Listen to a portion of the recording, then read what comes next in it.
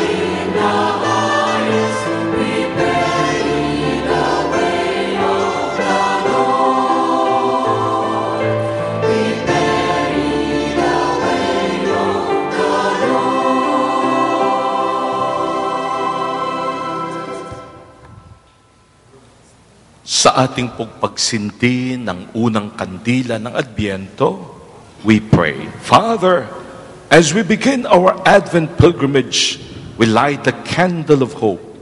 Grant us the courage to hope. Hope for your presence, hope for your peace, hope for your promise. Amen. Amen. In the name of the Father, and of the Son, and of the Holy Spirit, Amen. the Lord be with you. And with your spirit, Ngayon po sa araw na ito, inumpisahan ng simbahan ang kanyang New Year with the new liturgical year with the coming of the first Advent Sunday. Mga kapatid, kaagad nakikita natin ang pagbabago. Ang pari nakasuot na ngayon ng ube. Ang ating pong mga ah, gloria, hindi, ang gloria ay hindi na po aawitin o ire-recite sa araw na ito. But inside all of us, there is that sense of joy, anticipation, an expectation of the one who is coming, whose birthday we will celebrate. Sa mga pagkakataong binaliwala natin siya, na siyang Panginoon ng ating buhay at puso, we ask His forgiveness.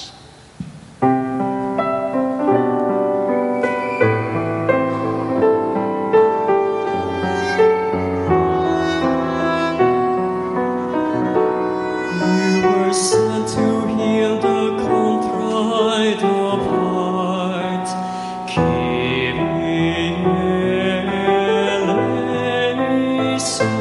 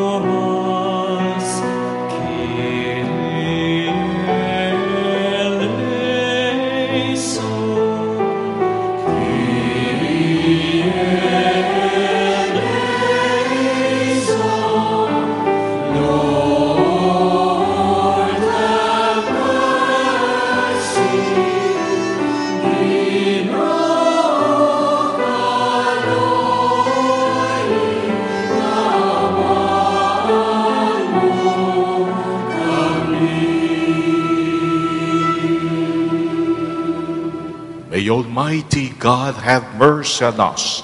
Forgive us our sins and bring us to everlasting life. Amen.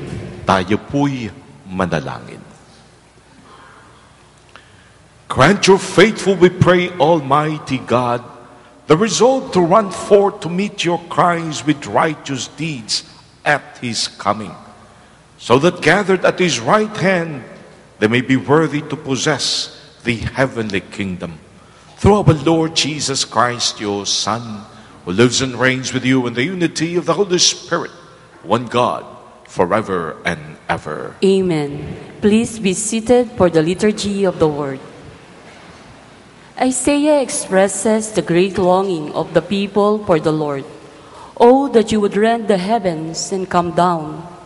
We share the same sentiments during this season of Advent. The first reading. A reading from the book of the prophet Isaiah. You, Lord, are our Father, our Redeemer. You are named forever. Why do you let us wander, O Lord, from your ways, and harden our hearts so that we fear you not? Return for the sake of your servants, the tribes of your heritage. Oh, that you would rend the heavens and come down, with the mountains quaking before you, while you wrought awesome deeds we could not hope for, such as they had not heard of from of old. No ear has ever heard, no eye ever seen, any God but you doing such deeds for those who wait for him. Would that you might meet us doing right, that we were mindful of you in our ways. Behold, you are angry, and we are sinful. All of us have become like unclean people. All our good deeds are like polluted rags. We have all withered like leaves, and our guilt carries us away like the wind.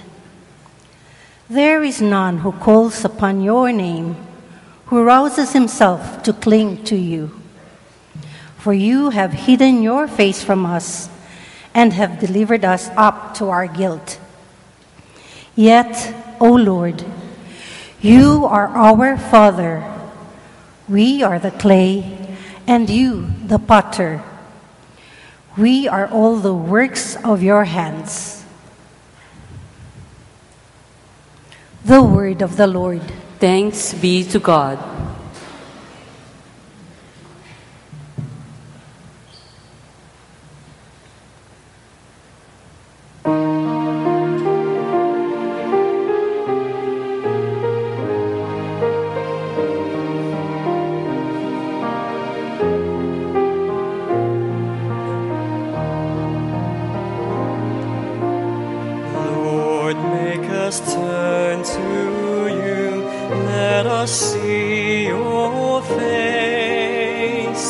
And we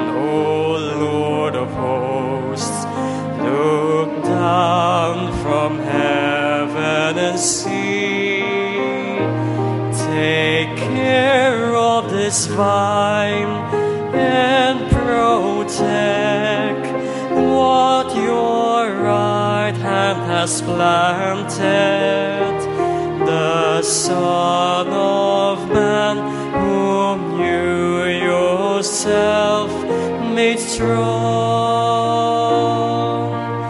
Lord, make us turn to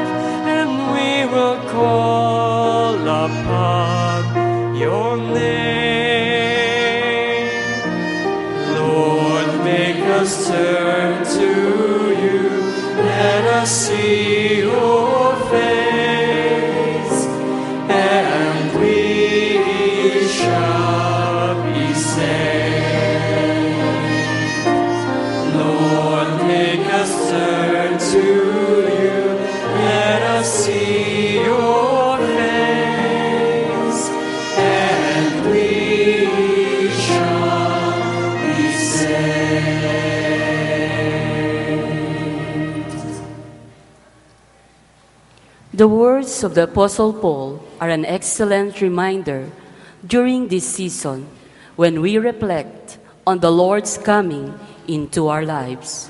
The second reading. A reading from the first letter of St. Paul to the Corinthians. Brothers and sisters, grace to you and peace from God our Father and the Lord Jesus Christ. I give thanks to my God always on your account for the grace of God bestowed on you in Christ Jesus, that in him you were enriched in every way, with all discourse and all knowledge, as the testimony of Christ was confirmed among you, so that you are not lacking in any spiritual gift, as you wait for the revelation of our Lord Jesus Christ. He will keep you firm to the end, irreproachable on the day of our Lord Jesus Christ. God is faithful, and by him you were called to fellowship with his Son, Jesus Christ our Lord. The word of the Lord. Thanks be to God. Please rise to give glory and honor to the Holy Gospel.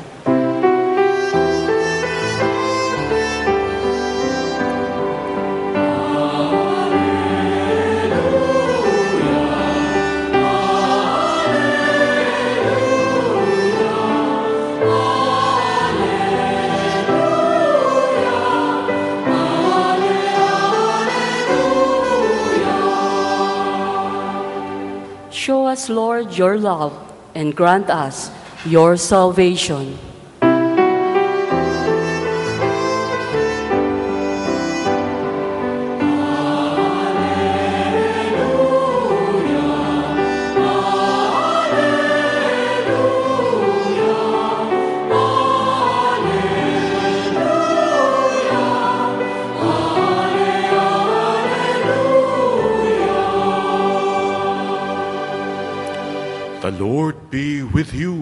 With your spirit, The proclamation from the Holy Gospel according to Saint Mark. glory to you, O Lord. Jesus said to his disciples, Be watchful, be alert. You do not know when the time will come.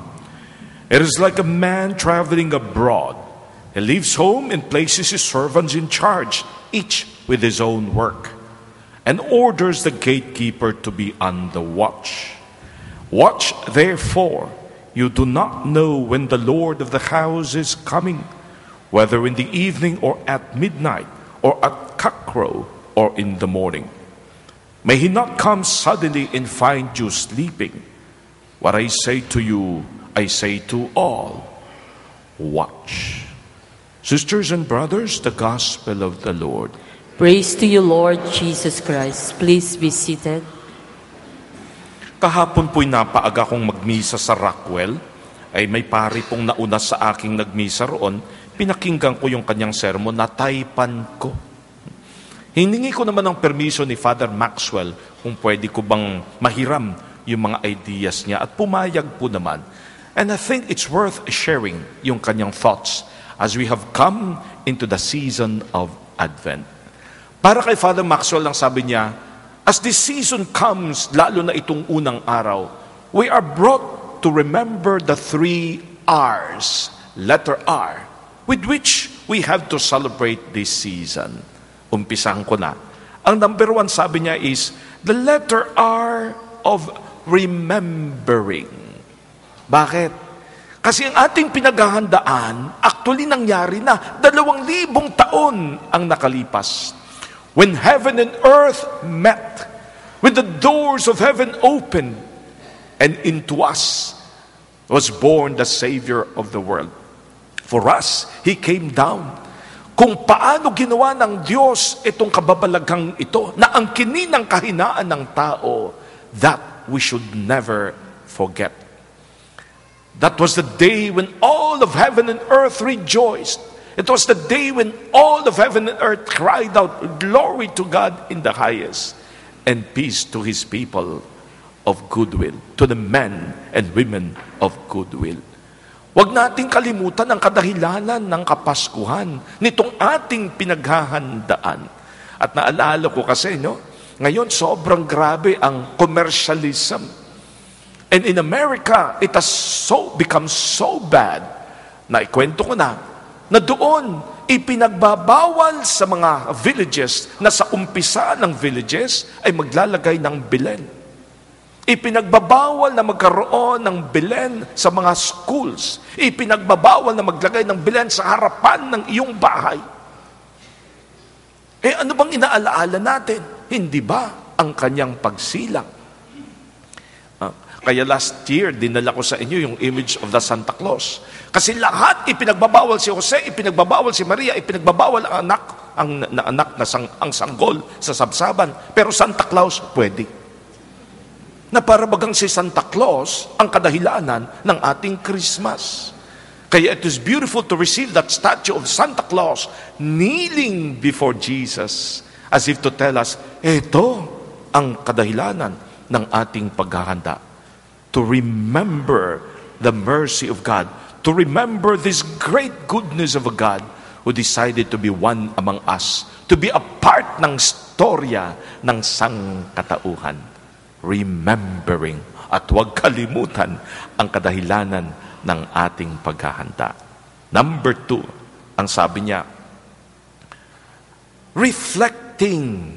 Not only reflecting, but rehearsing the preparation. May mas maganda pa siyang sinabi eh. Hindi lang reflecting, ang sabi niya, there is the need for all of us to be ready sa kanyang muling pagdating. Ang readiness ay hindi biglaan. You remember? Eh, May mga bagay na pwedeng paspasan mo sa paghahanda. May mga bagay na hindi nabibigla. And that sense of constant readiness is what we have to do. Katulad ngayon, narinig nyo kanina, yung bagong kirye. Father, pauso kayo. Hindi. Yan ang ating aawitin sa luneta sa araw ng pagdating ng ating Santo Papa. Ang inawit natin kaninang Alleluia, ang awitin nating final song, nagpa-practice na tayo. We're actually rehearsing for the coming of Him whom we rejoice as Christ representative on earth. May mga bagay na hindi nabibigla. May mga bagay na pinaghahandaan kasi you never know. You never know. Watch. Be alert is the constant cry of Jesus. Alam nyo, uh, may may maliit na kondo kondo unit yung aming family. Eh ang ang sabi sa akin ng mga organizer, father, nung administrator, tirhan mo naman. Paano yun naman na alam na hindi ko tinitirhan?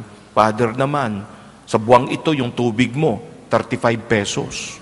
Mm, Ibig sabihin, hindi mo talaga halos napupuntahan. So nagdesisyon akong pumunta.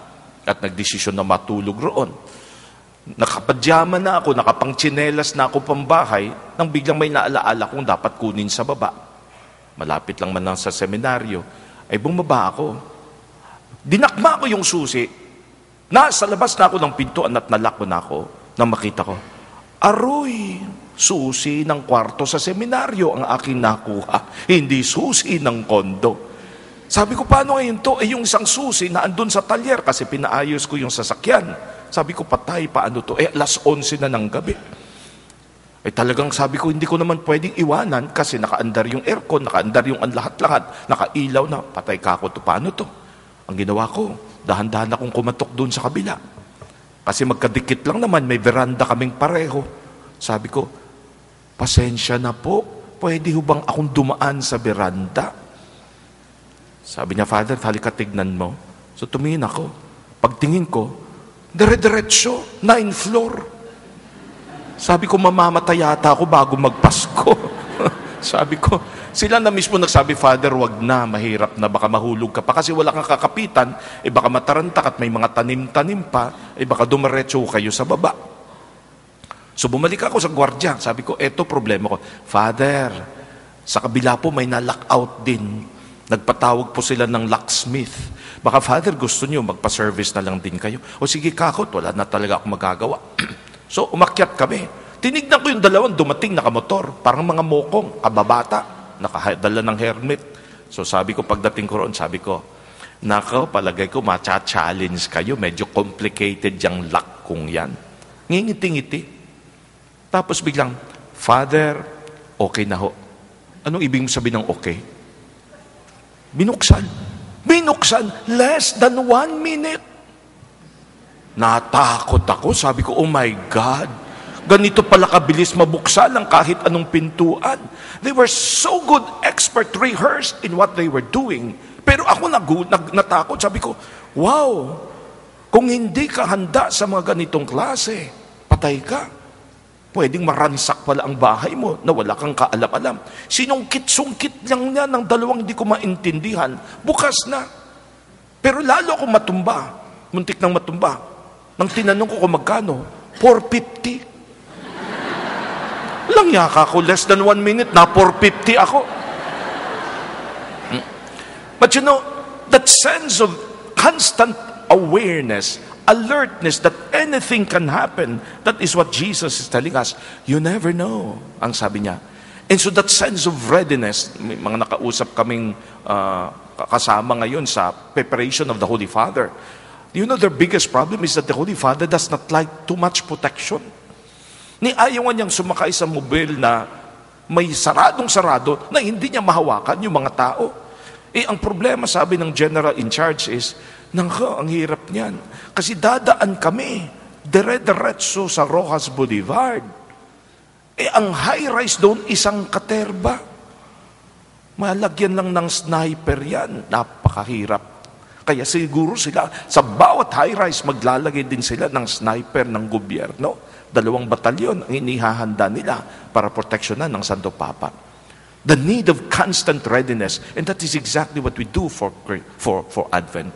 Are we ready for His second coming? And don't even think na maghahanda ka lang pag malapit na. Because you never know when He will come. That's the second. Pangalawa, not only do we speak of readiness, we speak of reconciliation. Kaya pala siya napunta upang ang sanglibutang makasalanan ay muling mapalapit sa Kanya. We speak of God desiring communion with all of us. At yun ang mahalaga. And communion means, first of all, na ikaw'y tinatanggap mo ang iyong kakulangan.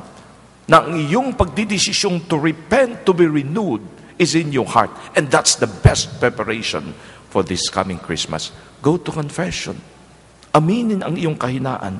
Aminin ang iyong kakulangan. You know, I was talking with one of our priests. Ang aming pong society ang na-assign na kumuha ng sinasabing video doon sa pagbisita ng Santo Papa sa Tacloban. It will be the official uh, video uh, in charge. Eh, Pinag-uusapan na nila kung paano ihahanda, kung ilan ang mga kabataan na sasama sa Santo Papa para sa kanyang lunch kasi yung kwarto na tinuro sa kanila ay hindi po naman kalakihan. Pero alam nyo, malulungkot ka lang kasi habang si Father ay nagpunta roon, ang dami pa niyang narinig tungkol sa hindi ayos sa Tacloban. Totoo ba, ayon sa kanyang narinig, na mayroong isang shipping line ngayon na gusto nang bawiin ang kanilang mga 40-footer na mga vans, na mga taguan, 20-footer, sapagkat hanggang sa ngayon, ito po'y may mga laman pa na hindi pa nadidistribute. Bad yun. Kasi sabi niya, tinitignan ko yung mga kabataan, gunit-gulanit ang mga damit. Eh kung gaan pa pala, nasa loob pa ng 40-footer, isang taon na yun. Bakit walang ginagawa sa bagay na yan? Kung totoo yun, dapat i-address ka agad yun. Totoo ba na sinasabi nila na kaya ibinaba ang number at hindi pinalampas sa 10,000? Eh sapagkat automatic pala na pag umabot sa 10,000, the UN government takes over the distribution of the funds. Kung totoo yun, bad yun. Hindi dapat nangyayari ang ganun. Malulungkot ka sa mga kabataan, sabi ni Father. No? Sabi niya, Mar, gulong-gulo ang isipan ng in charge doon kung sino ang papupuntahin upang sumama sa Santo Papa. Kasi sa dami ng mga talagang sobrang nasa lanta. Eh, yung mga bata daw, nagbibidahan. Sabi niya, dapat ako. Eh, kasi, nawalan kami ng bahay. Sagot naman ng isa, eh, dapat ako. Lima sa amin ang namatay. Sabi naman, ay, wala ka pala eh. Hmm. Bakit ako? Ako na lang natira. Naubos pamilya ko.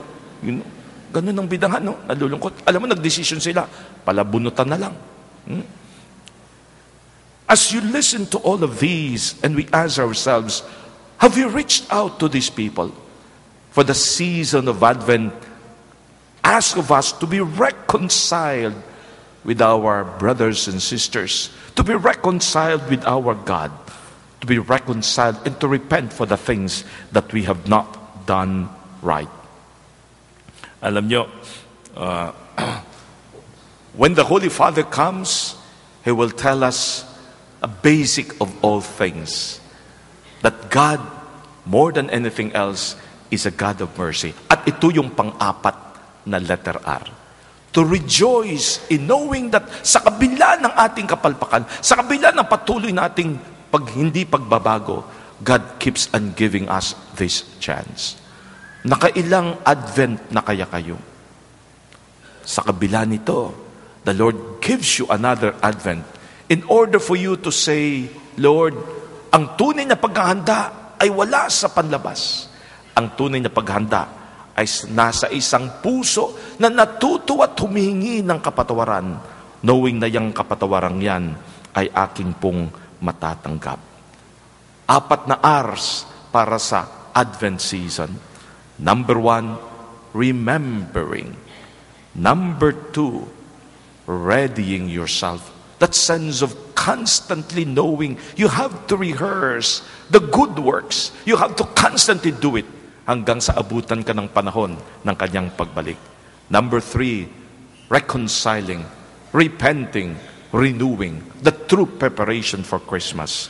And number four, that sense of rejoicing for our God will still continue to forgive us and accept us. My dear friends, nawawala man ang gloria but we have reason to be grateful. For our God remains to be faithful, forgiving, and loving. Amen. Tayo po'y magsitayo as we together declare, I believe in, In one God, the Father Almighty, maker of heaven and earth, of all things visible and invisible, I believe in one Lord Jesus Christ, the only begotten Son of God, born of the Father before all ages, God from God, light from light, true God from true God, begotten, not made, consubstantial with the Father. Through him all things were made. For us men and for our salvation, he came down from heaven and by the Holy Spirit was incarnate of the Virgin Mary. He became man, and for our sake he was crucified under Pontius Pilate. He suffered death and was buried, and rose again on the third day in accordance with the Scriptures.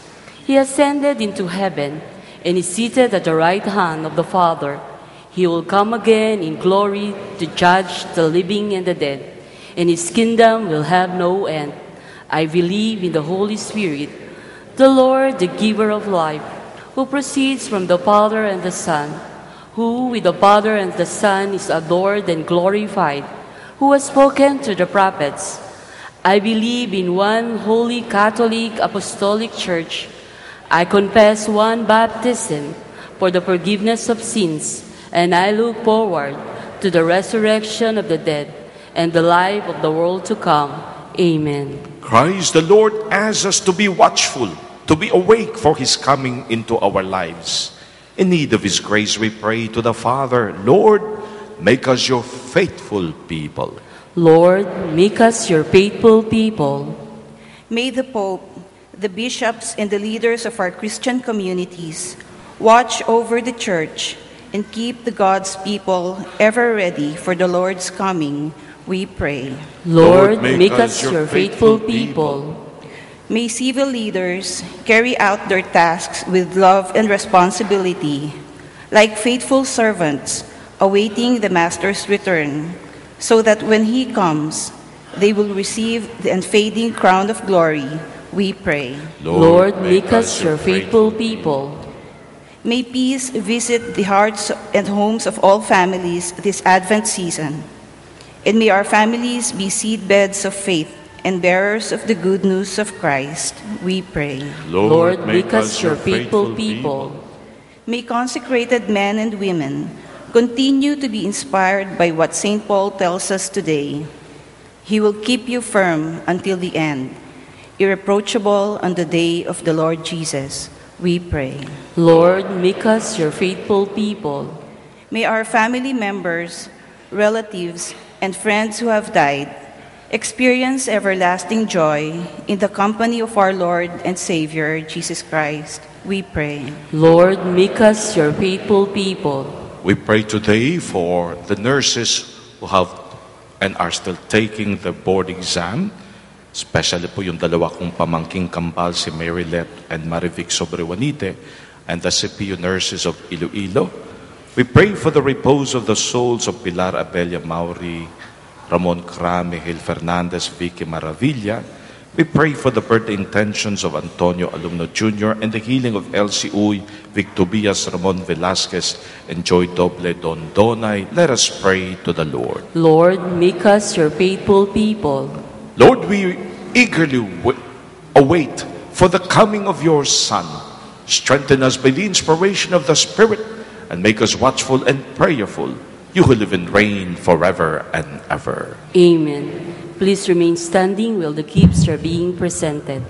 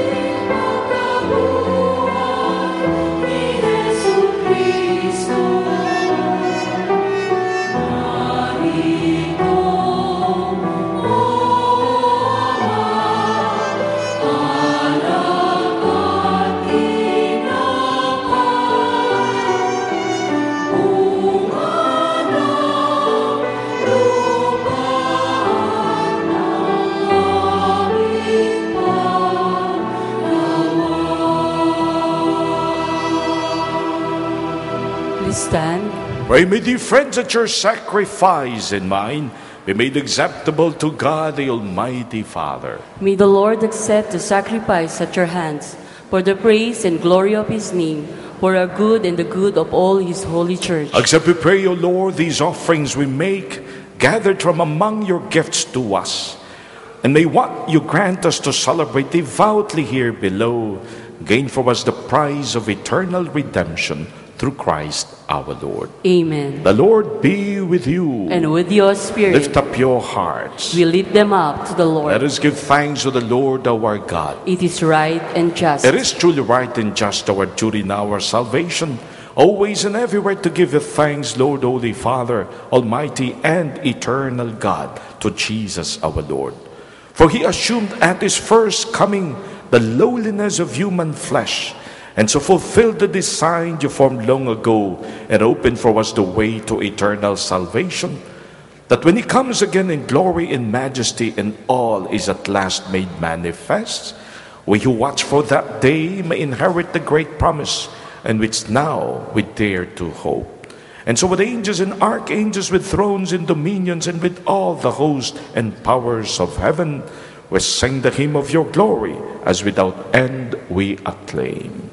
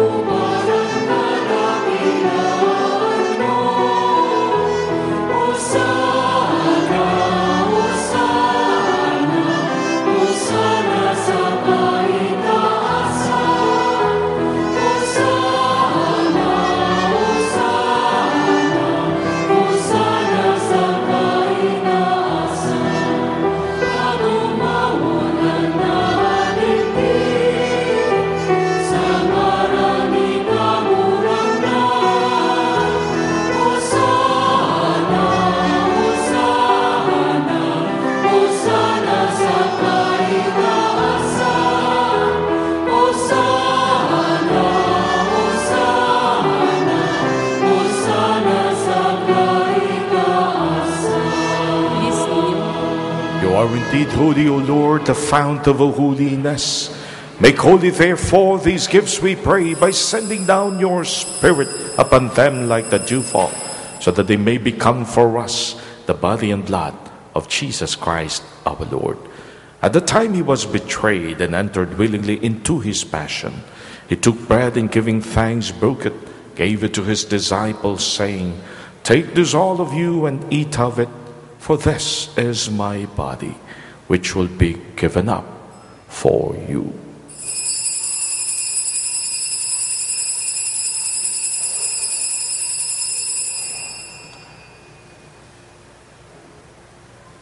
In a similar way, when supper was ended, he took the chalice, and once more giving thanks, he gave it to his disciples, saying, Take this, all of you, and drink from it, for this is the chalice of my blood, the blood of the new and eternal covenant, which will be poured out for you and for many for the forgiveness of sins.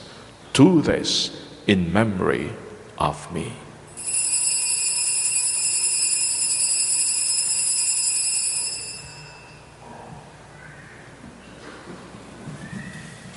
The mystery of faith.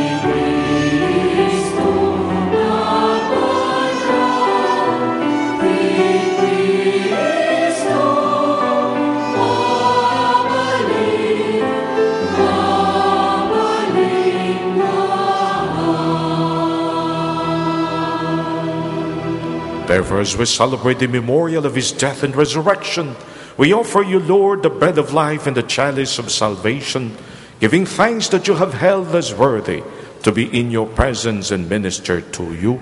Humbly we pray that partaking of the blood and blood of Christ, we may be gathered into one by the Holy Spirit. Remember, Lord, your church spread throughout the world and bring it to the fullness of charity together with Francis, our Pope, with Luis Antonio, our Bishop, and all the clergy. Remember also our brothers and sisters who have fallen asleep in the hope of the resurrection and all who have died in your mercy. Huling buwan po ng Nobyembre, muli sa harapan ng Panginoon ng kapayapaan at kapatawaran, let us bring the names of our beloved dead in silence, that God may grant them eternal peace.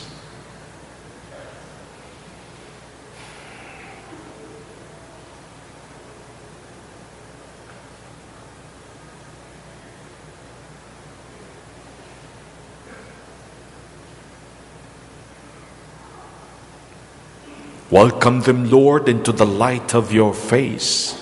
Have mercy on us all, we pray, that with the Blessed Virgin Mary, Mother of God, with the Blessed Joseph, her spouse, with the blessed apostles and all the saints who have pleased you throughout the ages, we may merit to be co heirs to eternal life and may praise and glorify you to your Son, Jesus Christ.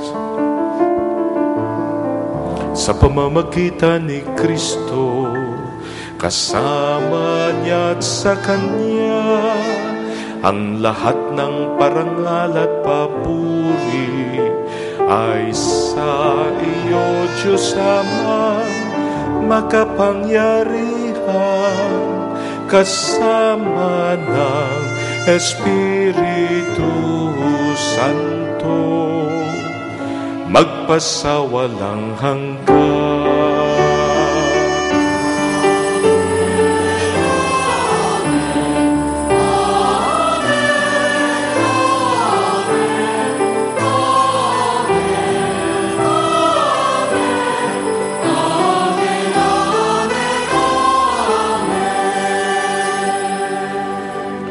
We ask God now, our Father in heaven, that we may truly be prepared for the coming of His Son into our hearts as He is King of our lives. We pray the Our Father.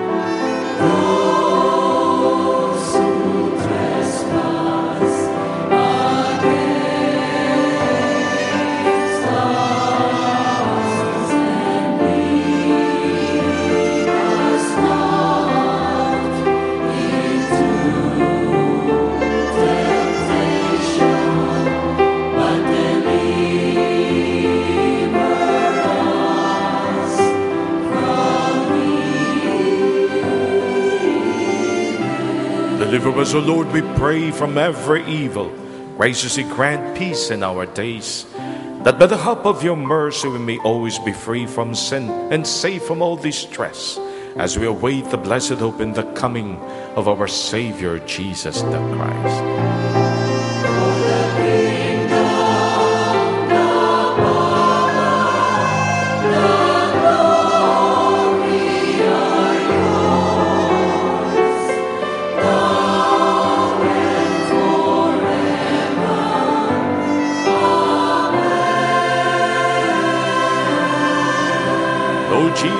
Christ has said to your apostles, I leave you peace, my peace I give you.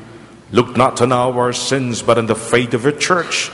Graciously grant her peace and unity in accordance with your will, who live and reign forever and ever. Amen. The peace of the Lord be with you always. And with your spirit. Ang apat na R ng Adviento, remembering, readying, repenting, rejoicing. Pag lahat ng yan naunawaan mo, truly Christmas will come and you will have peace in your heart because the reason for the Christmas will be in you. We share that peace of the Lord with one another. Peace be with you.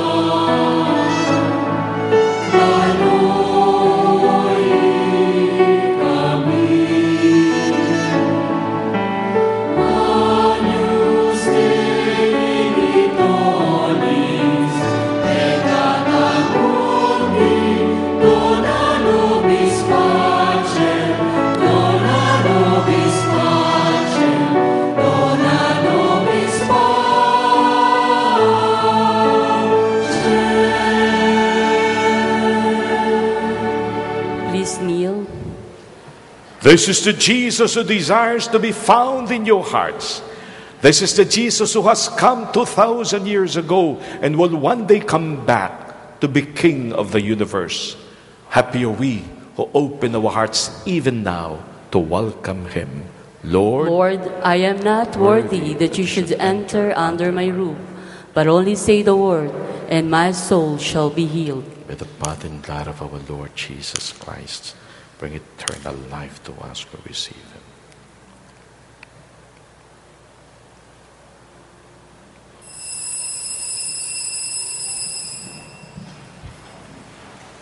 For those of you who are unable to receive the Holy Communion, especially our brothers and sisters who are joining us in this TV Mass, we invite you to pray with us this prayer for spiritual communion.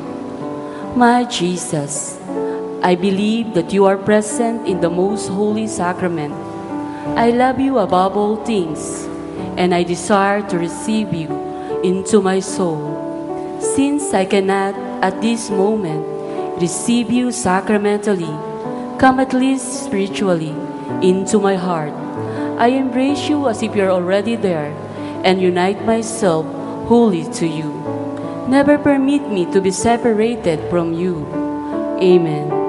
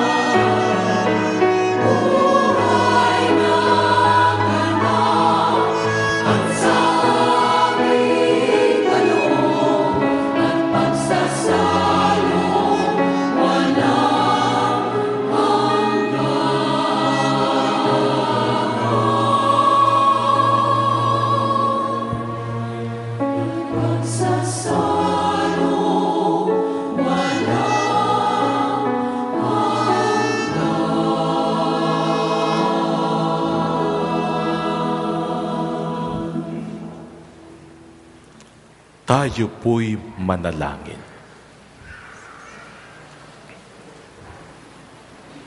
May these mysteries, O Lord, in which we have participated, profit us, we pray. For even now, as we walk amid passing things, you teach us by them to love us the things of heaven and hold fast to what endures. Grant this through Christ our Lord. Amen. Pag si Father Mario tinatanong, Father, ano para sa iyo ang Pasko? Simpleng sagot. Si Kristo, si Jesus sa puso. Ano man ang gawin nating pagsasaya, dekorasyon, magagandang damit, hapagkainang puno ng pagkain. Ngunit kung sa araw ng kanyang kaarawan, wala si Kristo sa puso, hindi Pasko ang ating ipagdiriwang. And so even now, on this first Sunday of Advent, let's call on Jesus to come into our hearts as we remember, as we repent, as we rejoice, as we truly make ready for His coming. Jesus. Say, invite Him, come. Jesus. Maranatha. Come into our hearts and into our sinfulness, your forgiveness as God.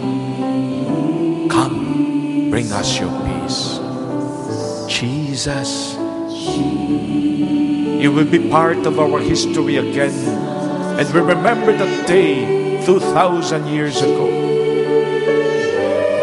Tanggalin mo sa aming mga puso ang lahat na hindi ayon sa inyong kagustuhan upang kami tunay na mapaghandaan ang araw ng inyong kaarawan.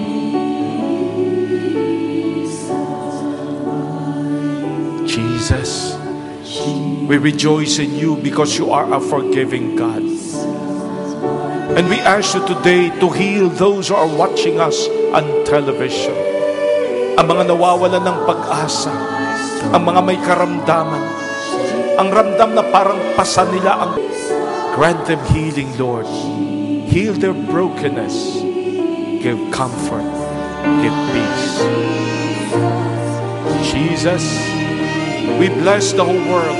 We bless the country, the Philippines, sa aming paghahanda sa pagdating ng iyong Santo Papa.